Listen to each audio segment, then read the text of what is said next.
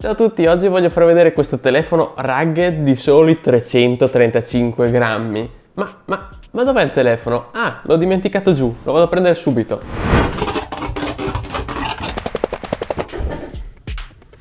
Allora, gelato al pistacchio? No.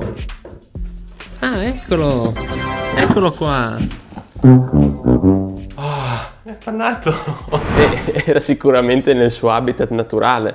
Bello fresco, fresco, fresco. Adesso è come nuovo. Tutto questo per dirvi che è un telefono indistruttibile e come ogni rugged, niente, hanno fatto una back cover bellissima addirittura con queste finiture lucide in plastica che acquisisce di brutto impronte, polvere, un po' di tutto, vabbè, è un vero peccato. E comunque appena mi è stato proposto che ho visto 6,78 pollici di display con un rapporto screen to body dell'86%, mi sono detto ma quanto è grande questo smartphone, perché solitamente almeno i tablet un paio di anni fa avevano 7 pollici come dimensione del display, quindi alla fine è quasi un tablet, ma con una batteria a dir poco infinita, 8300 mAh.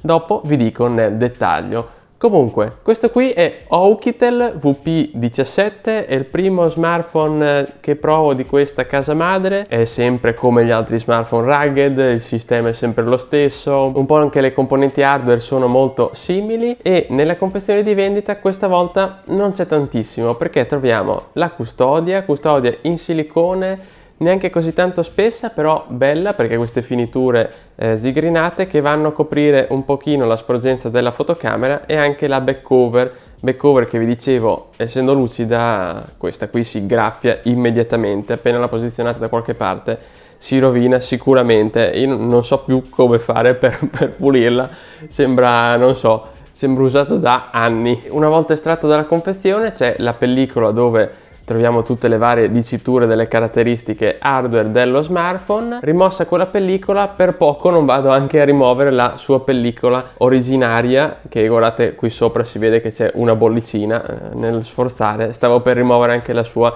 pellicola pre-applicata che la trovate già in dotazione. Poi c'è caricabatterie da 18 watt, molto plasticoso, molto leggerino, diciamo che proprio 18 watt sono base base per ricaricare un telefono del genere, cavettino Type-C e eh, graffettina per la SIM. Come ogni smartphone rugged le finiture sono a dir poco ottime perché abbiamo il frame in metallo direi molto molto resistente con anche tutte eh, le varie protezioni ai lati dello smartphone e abbiamo tutte le viti di eh, assemblaggio in evidenza. Molto molto bello, back cover blu, blu scura, dipende sempre da, eh, da, dalla luce che abbiamo. Come vi dicevo un peso di 335 grammi. Pensate che ha una lunghezza di 176 mm e a fatica riesco a eh, impugnarlo con una sola mano. Guardate, la, eh, confrontato con la mia mano quanto è grande questo telefono. Diciamo che nell'utilizzo, insomma,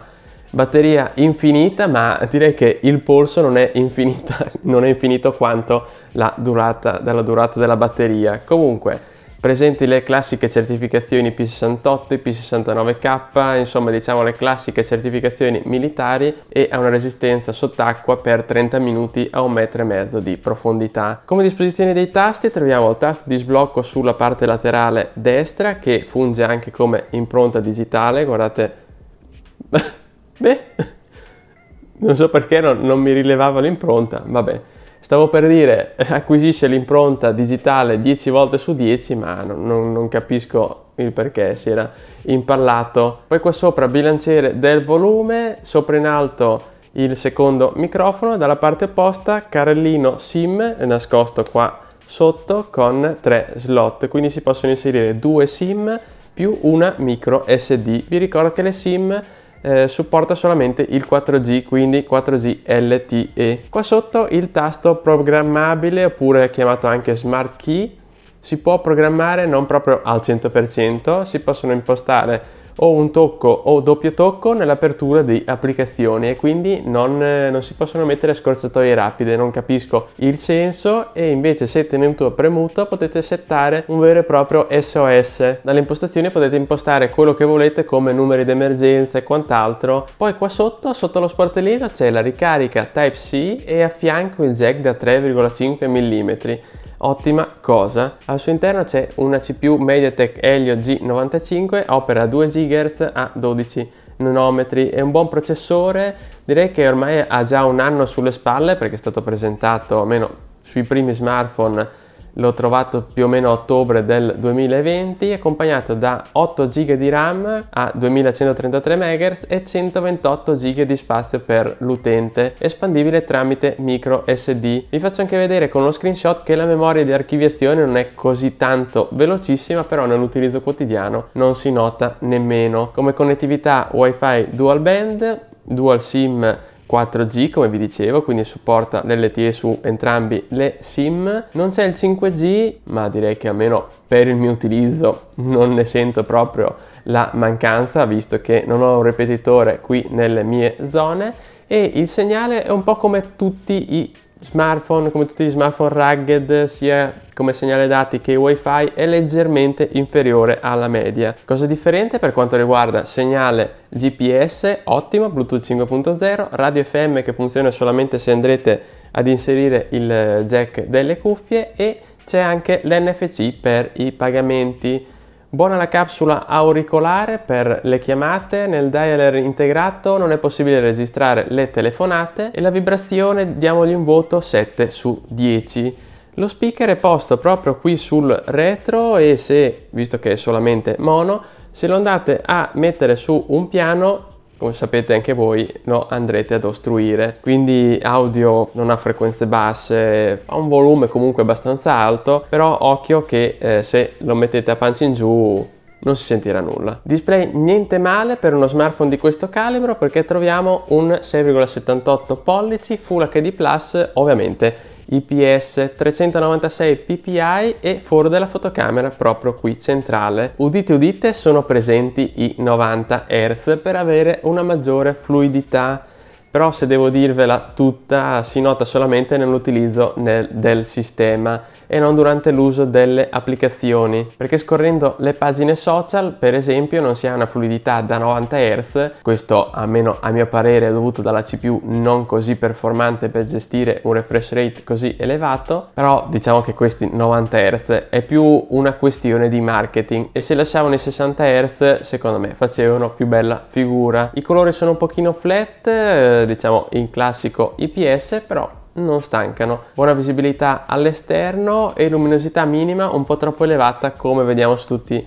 gli smartphone rugged o comunque i display IPS. Quando si è completamente al buio dà quasi fastidio. Vetro antigraffio Corning Gorilla Glass con la pellicola che vi dicevo è già preapplicata, buona, però acquisisce un pochino le impronte digitali, touch molto preciso, quindi sembra quasi un telefono tradizionale per quanto sia preciso questo touch ed è anche sfruttabile in gaming a questo punto, visto che le dimensioni sono così generose e sembra quasi un tablet quando andrete a giocare. Purtroppo non ho tantissimi abbonamenti streaming, quindi ho voluto provare, ho potuto provarlo solamente con Amazon Prime Video e eh, la qualità si ferma solamente in HD. YouTube passa in Full HD, ma secondo me anche Netflix si ferma in HD. Come vi ho anticipato all'inizio, la batteria è infinita, 8300 mAh. Almeno tutto questo peso viene ripagato dalla durata infinita di questo smartphone. E farete due giorni?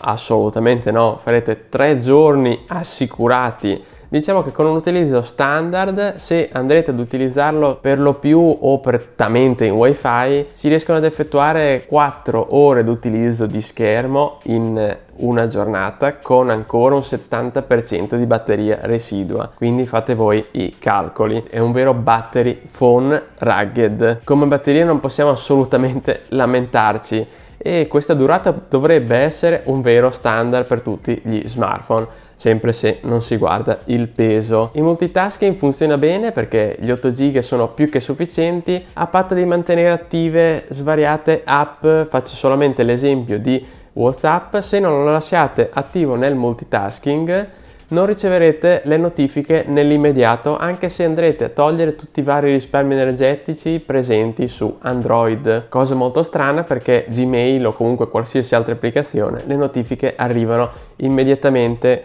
Quindi mi raccomando non killate whatsapp perché altrimenti le notifiche non arrivano subito. Batteria grande ricarica lenta. 18 watt di ricarica stranamente qui non troviamo la ricarica wireless forse anche meglio così perché altrimenti impiegava quasi 10 ore per ricaricarsi qui con 3 ore tramite il proprio caricatore da 18 watt si ricaricherà completamente. Lo lasciate sotto corrente tutta notte alla mattina vi svegliate potete utilizzare il telefono quasi per 24 ore ininterrottamente. Per quanto riguarda le fotocamere guardate anche voi quanto sono belle qui sul posteriore fotocamere ovviamente a semaforo e troviamo una fotocamera principale da 64 megapixel direi un pochino troppo sopravvalutata. 64 megapixel sono assolutamente esagerati e i risultati non sono assolutamente buoni. In condizioni di ottima luminosità gli scatti sono diciamo buoni ed appena in presenza di condizioni di ombra o scatti comunque al chiuso vedete anche voi che la resa cala tantissimo e vedete che i dettagli sono soprattutto pasticciati. Sono andato in questo posto magnifico Oasi Rossi se non mi ricordo male a Vicenza dove ricreano proprio un ambiente naturale con eh, svariati animali farfalle e quant'altro. Eh, le foto sono venute un po' così così ecco ve le lascio in sovraimpressione così valutate voi. Con eh, l'intelligenza artificiale attiva guardate quanto spinge i colori quindi quando avete colori molto molto accesi è perché l'intelligenza artificiale è attiva. E le registrazioni in 4K a 30 fps diciamo che è la stessa qualità delle foto in ottime condizioni con una stabilità piuttosto scarsa se non praticamente nulla. Invece in Full HD direi a 60 fps assolutamente non classificato qualità pessima Differente per quanto riguarda il sensore da 20 megapixel, ma non ve l'ho mai accennato, 20 megapixel Sony sensore notturno, Air Night Vision e con questo, grazie anche ai 4 LED posti qui a fianco, riuscirete a vedere in notturna. Avevo provato il Dusi S96 Pro, il primo smartphone dotato di telecamera notturna ad infrarossi e questo qui è proprio una spanna sopra ha una qualità ottima, riesce a mettere a fuoco i soggetti in stanze completamente al buio e anche con un buon dettaglio, quasi quasi meglio della 64 megapixel principale. Guardate anche i video quanto sono spettacolari in notturna e questo sensore è ottimo al posto della classica torcia del flash. Poi sotto c'è anche il sensore da 2 megapixel per le foto macro classiche con una distanza ravvicinata a 4 cm circa. Fotocamera frontale da 16 megapixel, 76.9 di eh, angolo di ripresa, sufficiente per scatti in compagnia, sempre in diurna, però più o meno stesso discorso della fotocamera principale posteriore non ha chissà quali dettagli e registra in Full HD 30 fps guardate anche voi che non è chissà che sensore diciamo comparto fotografico non ottimo e quello che mi ha stupito più di tutti è il sensore notturno. Nel complesso sensori fotografici di fascia bassa. Come ogni smartphone rugged al suo interno c'è la versione Android stock, qui aggiornata alla versione 11 con le patch di sicurezza di agosto. Le versioni stock non hanno grosse personalizzazioni e qui andiamo proprio ai minimi storici. Come vi dicevo c'è il tasto laterale che si possono settare solamente l'apertura di eh, applicazioni e c'è nelle impostazioni proprio una sezione che si chiama assistenza intelligente che contiene qualcosa di interessante come gli screenshot con tre dita, attivare o disattivare lo schermo con un doppio tap e le quick gesture per esempio a schermo spento se andate a tracciare una V andrete ad attivare la torcia, insomma varie gesture almeno per avere un minimo di personalizzazione. Ma non è finita qui perché c'è anche il classico cassetto di app che si chiama Tool Bag e troviamo al suo interno la bussola, la torcia, il rilevamento dei rumori e un timer, anzi dimenticavo c'è anche un voice simulation che genera suoni come la sirena, rumore del motore e rumore di un cane. Installato non troviamo nient'altro e quindi l'utente ha un sacco di spazio per le proprie applicazioni.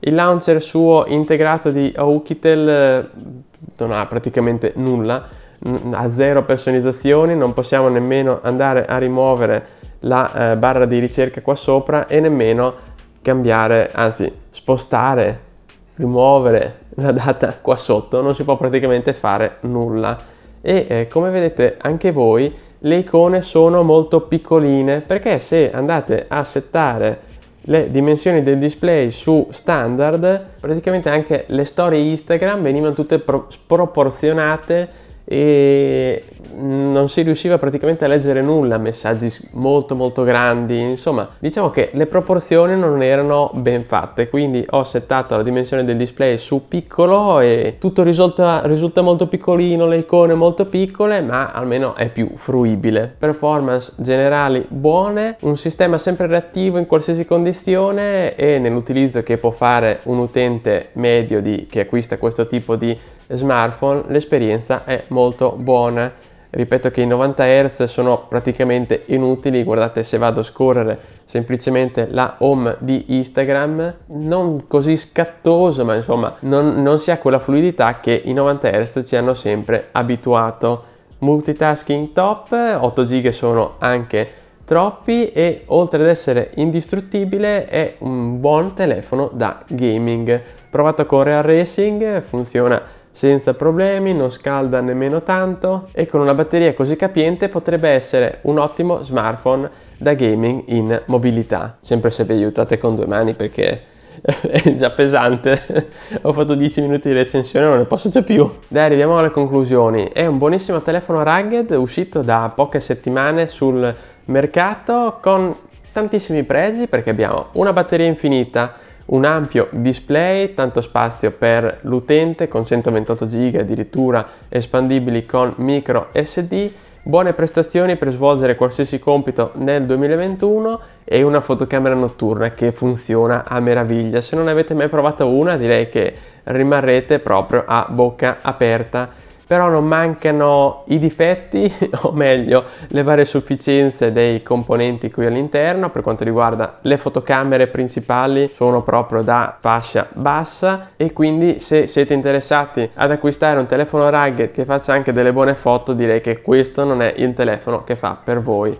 Se invece non vi interessano le qualità fotografiche, beh, direi che potete acquistarlo ad occhi chiusi, soprattutto se amate avere un telefono instancabile che potete utilizzarlo senza problemi tutto il giorno. Come sapete questi tipi di smartphone, questi smartphone rugged saranno le certificazioni, saranno i materiali utilizzati, hanno sempre un costo superiore rispetto ai telefoni tradizionali, quindi viene proposto 349 euro. Diciamo che più o meno ha un costo medio per questo tipo di smartphone se lo dovessi andare a riacquistare insomma non andrei a spendere oltre 300 euro quindi molto probabilmente nel giro di una o due settimane o forse anche qua sotto in descrizione vi lascio qualche sconticino per renderlo un pochino più appetibile. Beh, io penso di avervi detto tutto, questa mattonella qua direi che boh, mi sono trovato bene, l'ho utilizzato per due settimane senza problemi e svolge tutti i compiti. L'unica cosa non l'ho messo nel, nel mio DJI perché secondo me non, non, ci sta nemmeno nel telecomando. Eh, insomma, questo qui è un compromesso che bisogna valutare. Per qualsiasi altra informazione contattatemi pure e la prossima su Uwinblog. Mi raccomando scrivetemi qua sotto nei commenti se non sono stato chiaro o comunque se avete delle domande.